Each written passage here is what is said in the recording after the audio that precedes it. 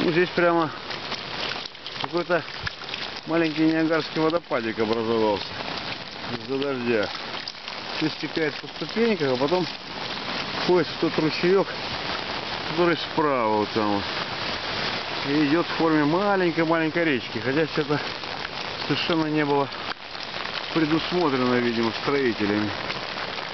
Вот такой здесь Ниагарский водопадик местного значения.